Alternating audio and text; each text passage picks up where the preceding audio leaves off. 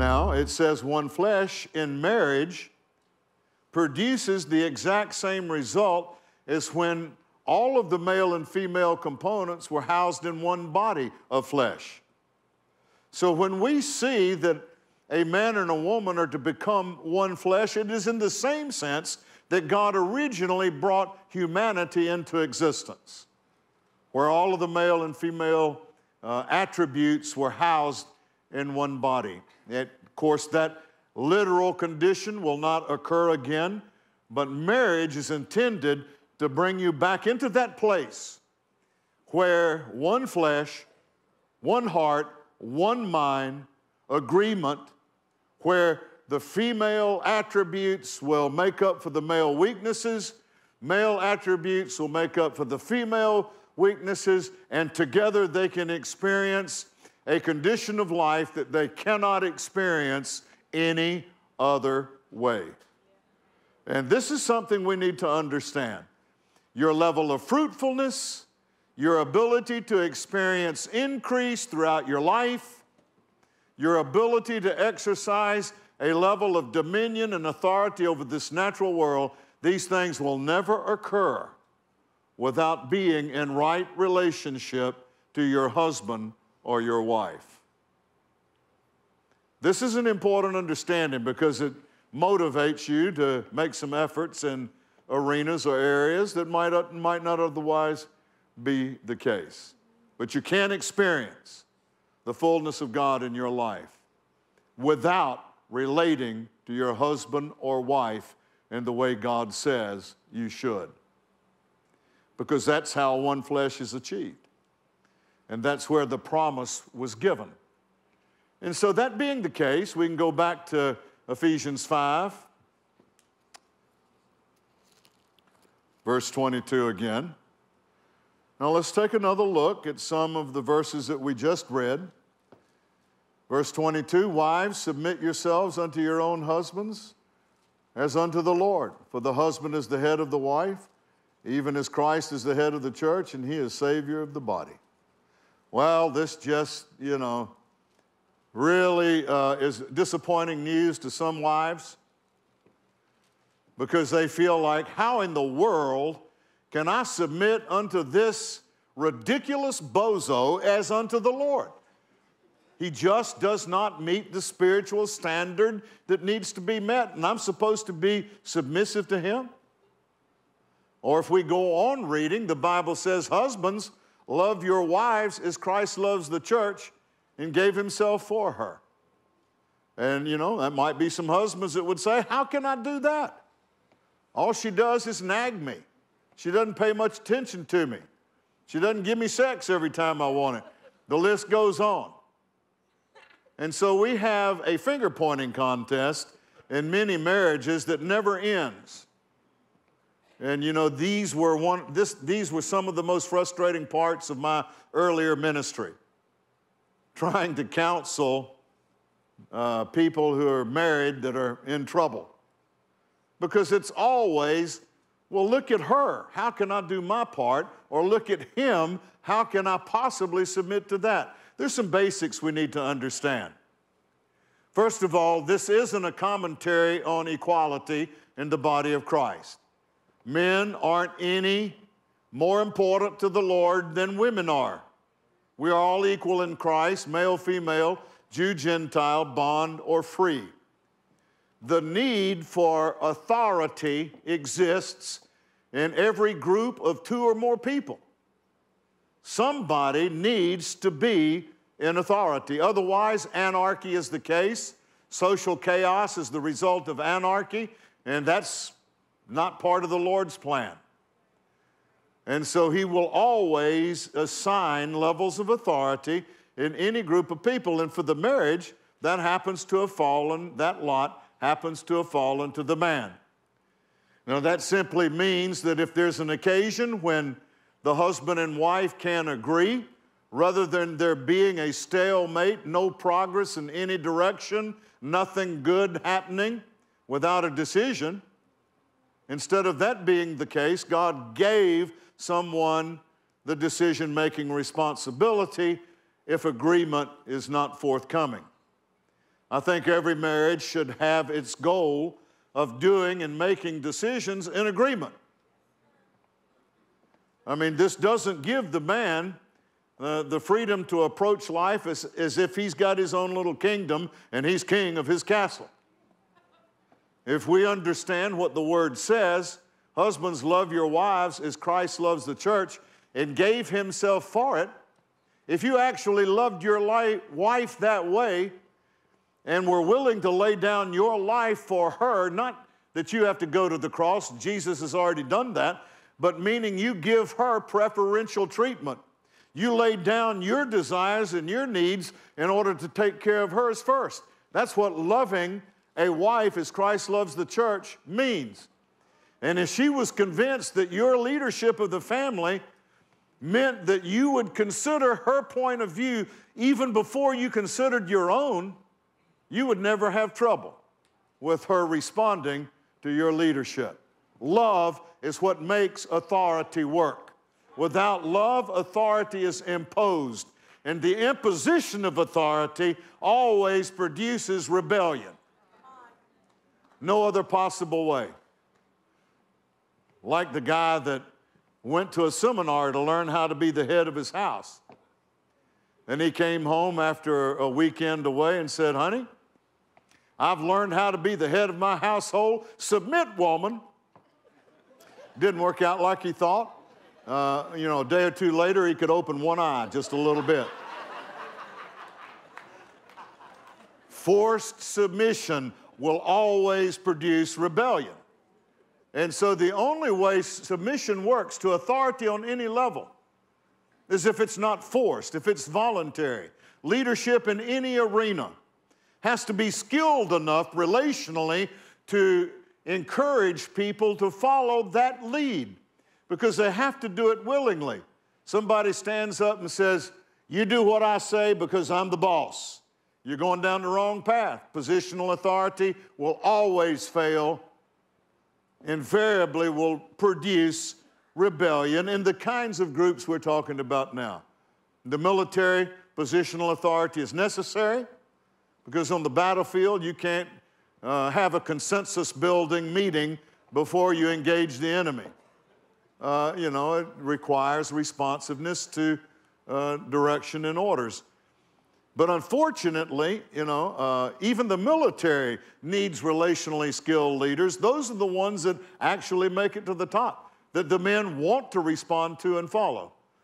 And so that's true for marriage.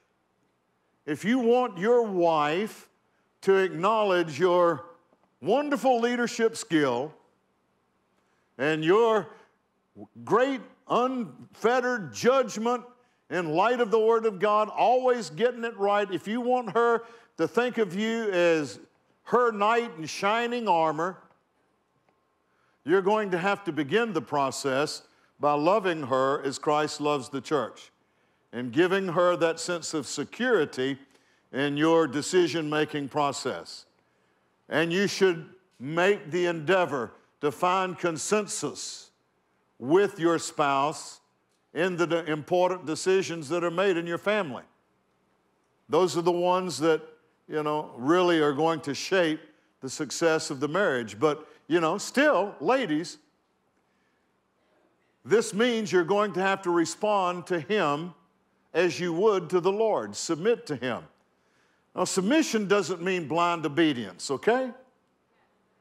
Do understand that. Submission recognizes the legitimacy of the, thought, of the authority that someone stands in and expresses a certain esteem for that office.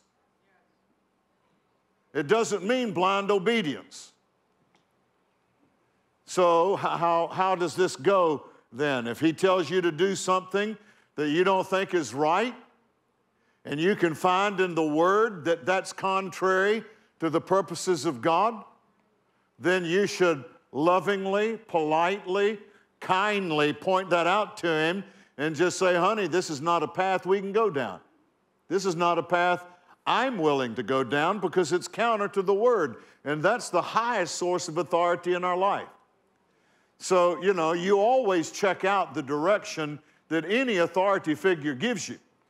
against the Word of God and be sure that cooperation with that direction doesn't take you away from the principle of God. Now, I'm speaking of the written Word. It doesn't work to say, No, God told me not to do that. That doesn't work. I'm talking now the written Word, the principles of the Word. If a decision is made that the Bible doesn't spell out what should have been done, then you need to prayerfully go along with the decision he's made if there has been some controversy about it. Believing and praying, praying for him, praying and believing that uh, that decision will be honored by the Lord. If it's the wrong one, that he'll get the word to the husband to make some changes. So, submission does not mean blind obedience.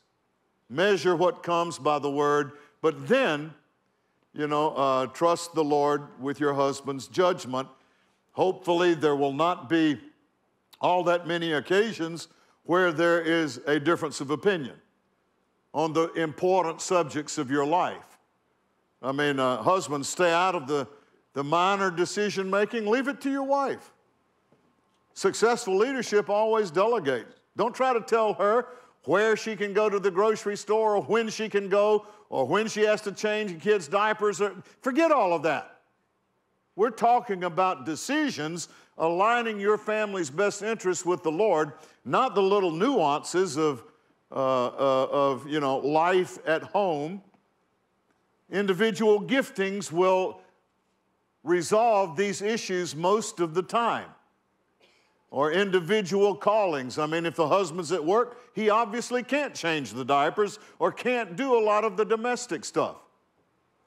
Well, what about homes where the wife works and the husband is a stay at home dad? Is that scriptural? Yeah, I think so. If both parties to the marriage have agreed to that, and that's where her strongest callings and anointings may lie, and he is inclined to take care of the house, then hey, that's fine. I know arrangements like that. It just needs to be, you know, something that both parties have bought into. But basically,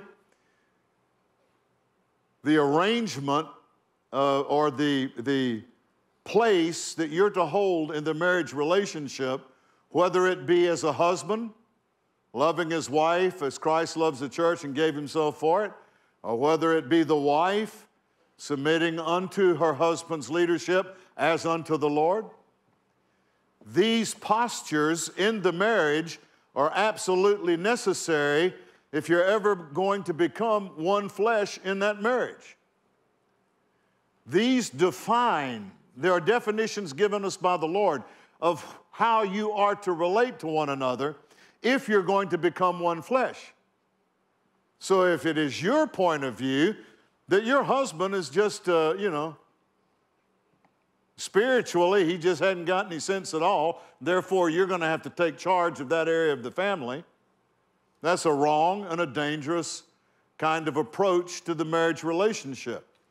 Unless, in, you know, in his honesty, he understands that you are uh, more well versed in the word than he is, and that you know you're more committed in your pursuit of the Lord than he is, then he will lean on your spirituality, but you can't usurp the authority that God has given him. Only to the extent that we fulfill the roles that God has placed in the Bible that we just looked at. Can we ever expect to come to one flesh where the dominion and the authority over this natural world will be in such evidence in your life uh, that you'll be amazed. It's only going to come out of a marriage where these, these descriptions of roles and responsibilities are in place. And you can't fake it. Husbands, you know, I've heard some husbands say, Well, I, I don't feel affection for my wife anymore. I can't, I can't love her like Christ loves the church. Well, the Greek word agape doesn't have anything to do with affection, it means to give, to give unconditionally. And you can give to her.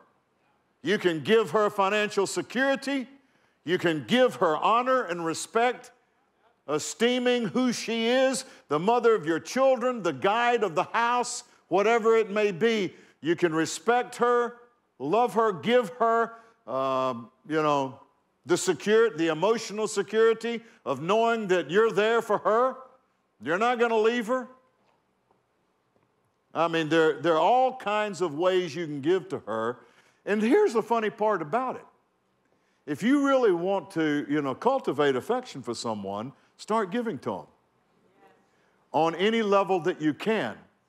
Because the more you give to a person in the areas that you can, maybe it's financial, or maybe it's prayer, or maybe it's, uh, you know, some other possible things that you can do to give from your heart to your spouse. As, as you do that, guys, as you give to your wife every way you can, even if the, you know, the battles over the last 10 years seem to have destroyed the affection, you can rebuild it by starting to give to her from your heart unconditionally, like the Lord says. And as you do, and I'm not too sure why this works, but it works. You will start feeling affection. Yeah, I, I know why it works. Emotions are given to sustain the to sustain the direction uh, our decisions take us. That's what they're there for.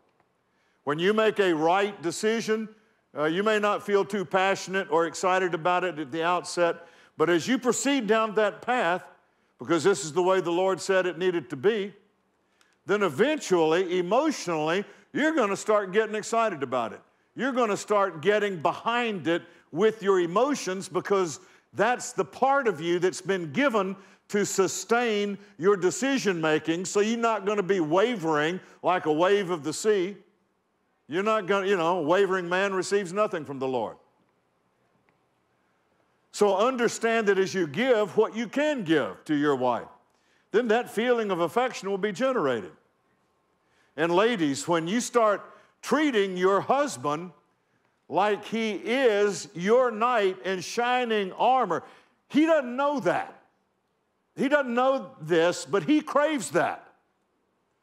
Every man that's really a man wants to be a man for his woman. She knows him better than anybody else does, and for her to be convinced that he is her knight in shining armor, even if he's just lays around in holey t shirts and watches soap operas, it's still going to have the effect of pulling him up into that level of how you see him. That's why it's so important that we function in line with these assignments, whether we feel like it or not. If he's not what you want him to be, treat him like he is exactly what you want him to be, and that expectation will pull him there. The Bible says, I've, I've taught this a lot lately, that expectation is the final step to the manifestation of the promise of God you're believing for. Faith gets the answer, right? But the final step in the maturity of your faith is expecting, truly, confidently expecting something to occur. It could be your healing. Until you expect that your healing is going to show up any moment and go up for ministry or you know pray that way act that way at home wherever the case may be. When you expect it that's when it's going to happen. Bible says faith is the substance of things what? Hope for, hope for. the word hope is confident expectation. Faith will only put substance to the things that you confidently expect. And this has a bearing on your relationships. This is why you need to expect the most out of people. You need to expect the best out of people. You need to have high expectations for them because they tend to rise to the level of the expectation of the authority they're under. I'm trying to preach fast, but this stuff is important. And so, when, I mean, yeah, I mean, neither of us, husbands or wives, are likely to be at the pinnacle of where the other would like us to be. But we can help each other get there by truly expecting that. Expect that because you're praying for them. That's what Paul did with the church at Ephesus in Ephesians 1:17, the Pauline prayer. He prayed that they would understand uh, the hope of their calling, that they would understand what a precious inheritance they are to God, what the exceeding greatness of power is to us who believe. He prayed that they would understand these things, and that elevated his expectation of them. Because God hears prayer, and he's praying in faith. And so, as you pray for somebody, you will elevate your expectation of them. And it is that expectation, if you expect your husband or your wife to step into arenas of responsibility that they haven't really stepped into yet that are scriptural, then, you know, pray for them. Pray and believe and watch your expectation grow. And as your expectation demonstrates to them, to that old guy, that you really believe he is your knight in shining armor, guess what he'll start to live like? Your knight in shining armor. He'll have your back, he will take care of you. These are things that will occur. And the reverse is true. Well, anyway, all right.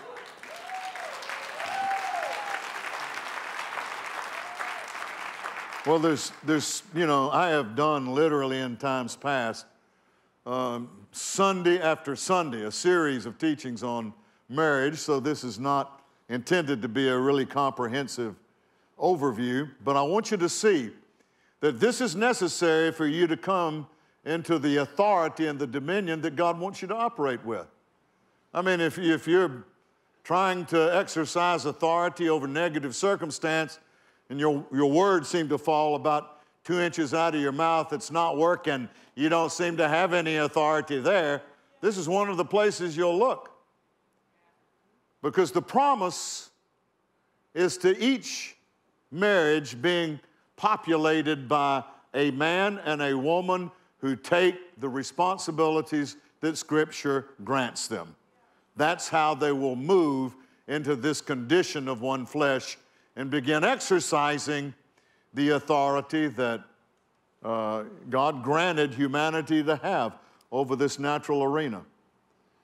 But I would suggest that a couple of other things also depend on it. In verse 26, after husbands are told to love your wives as Christ loves the church, he goes on to say that he might sanctify and cleanse it with the washing of water by the word. I would say that the separation of your marriage unto the Lord, which is what sanctification is, and the extent to which your marriage is based on the Word of God will depend on your taking your assigned positions of responsibility that God gives you.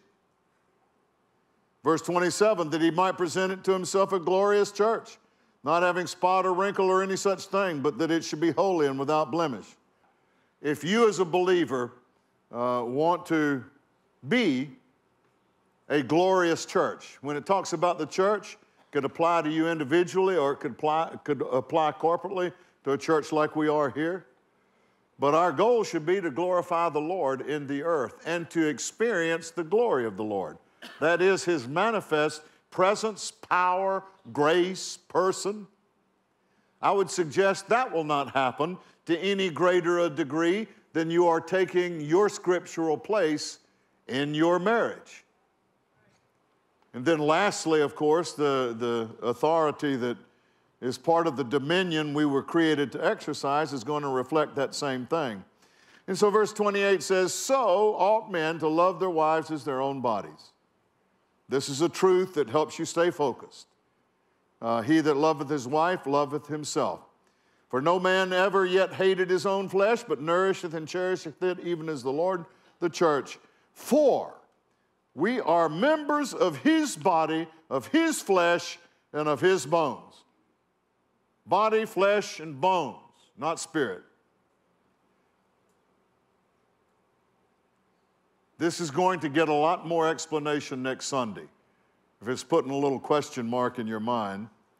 For this cause, because this has to do with our relationship to Jesus Christ, for this cause shall a man leave his father and mother, shall be joined unto his wife, and they two shall be one flesh.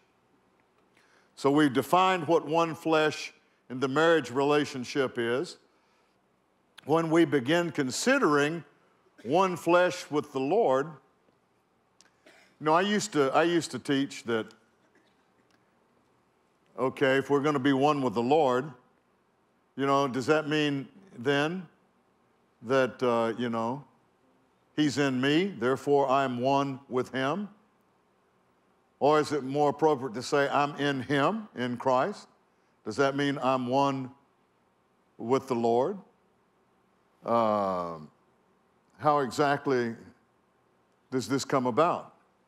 Well, this is really the subject of next Sunday's sermon, so I'm not going to get in, into it too deeply. But I used to teach that when a person's born again, then they automatically have Christ in them which I have changed my mind about. Um, because very simply, I've run across enough scripture that indicates otherwise that I believe when somebody gets saved, you know, they're made a temple of the Holy Spirit. Uh, the Holy Spirit dwells in you even before you're filled with the Holy Spirit by measure. And so essentially, uh, since the Godhead is a triune or is a trinity, then that means if you've got the Holy Ghost in you, which you do when you're born again, because He is the agent of sanctification, uh, then in the person of the Holy Spirit, indirectly speaking, you know, in the person of the Holy Spirit, you're indwelled also by God the Father and God the Son. So, yeah, you could say in that regard, uh, you have all members of the Godhead within you but the reference in the word to Christ in you does not occur when you are born again. Paul said to the church at Galatia, he said, Little children, now this is an adult church, but they're children in the Lord. They had just gotten saved. They're like, you know, on a spiritual plane, they're like little children. And he says, I cease not to pray for you that Christ be formed in you. So, this is a process that occurs after you're saved, and it has to do with becoming one in Him. And this is the most important consideration of all that we become one flesh with Him. It's a great mystery. We'll talk about it next Sunday, so you don't want to miss next Sunday. I'm so glad you had the opportunity to tune in to today's broadcast. If you want to keep in touch with our ministry, sign up to receive our Winner's Way weekly email.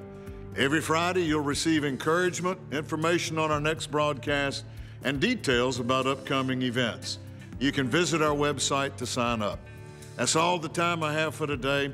Have a great week, and as always, remember God wants you to be a winner in every area of life.